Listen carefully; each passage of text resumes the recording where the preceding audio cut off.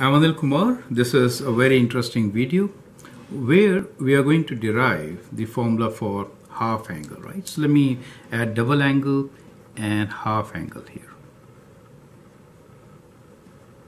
The question here is, we need to express sine theta by 2, cos theta by 2 and tan theta by 2 in terms of cos theta, right?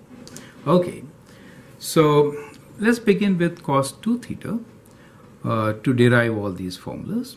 So we know cos, we'll begin with cos A plus B. Cos A plus B is cos A cos B minus sine A sine B, correct?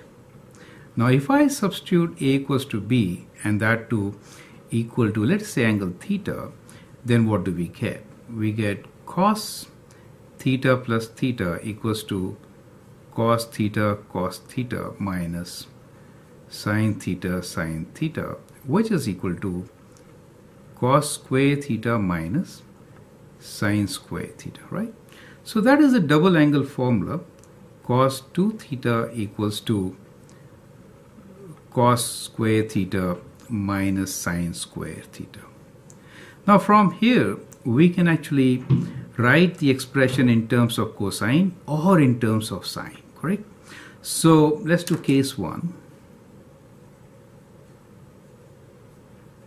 We'll write in terms of cosine. So we could say cos 2 theta is equals to cos square theta minus. I'll write sine square theta as 1 minus cos square theta.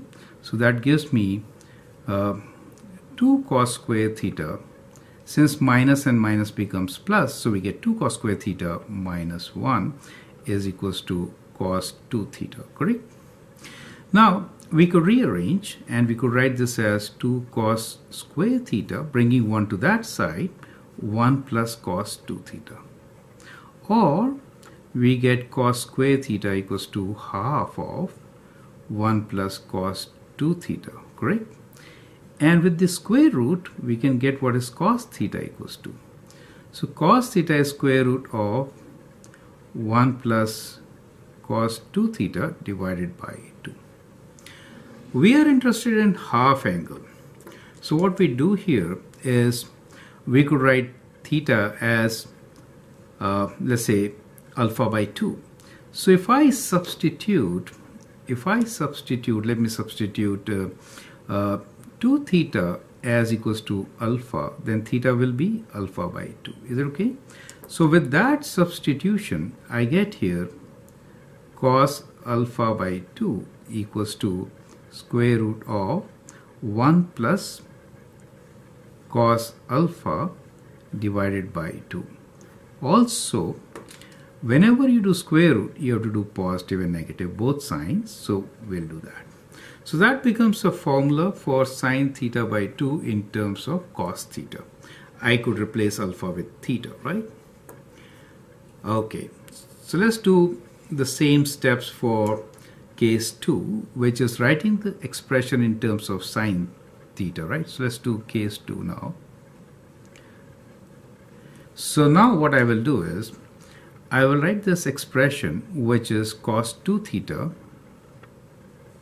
equals to cos square theta minus sine square theta in terms of sine square theta. That is, I'll replace cos square theta as 1 minus sine square theta. I have minus sine square theta. Is it okay?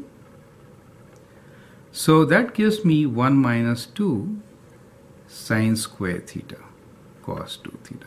So rearrange, so we get 2 sine square theta equals to 1 minus cos 2 theta, we're doing exactly the same steps. We get sine theta, uh, let me do square, and then we have 1 minus cos 2 theta divided by 2. And now sine theta is what? Sine theta is square root of 1 minus cos theta divided by 2, but with positive and negative sign.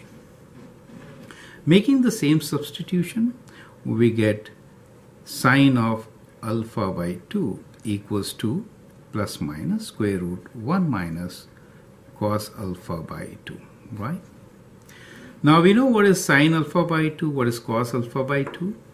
We can find what tan alpha by 2 is.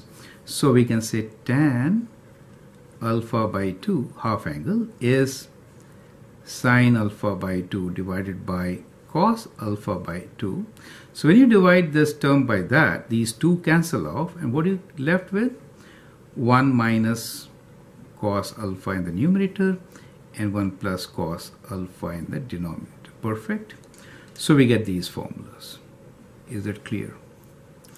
So we got all the formulas. The only thing is instead of theta I wrote alpha since in between I just substituted theta so I don't want to mess it up right. So so basically we have all the three formulas which I can now write as my result as sine theta by 2.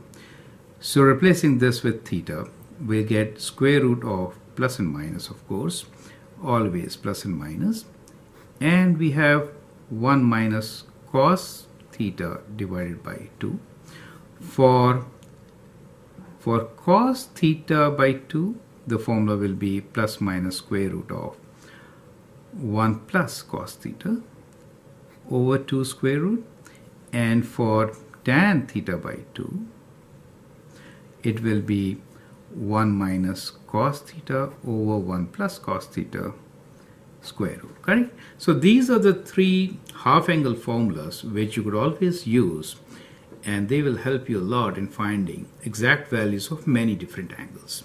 For example, 67.5, 33.75, 15 degrees, 7.5 degree. I hope it made some sense. Thanks for watching. If you like, that'll be great. Keep sharing my videos and your suggestions. Thank you.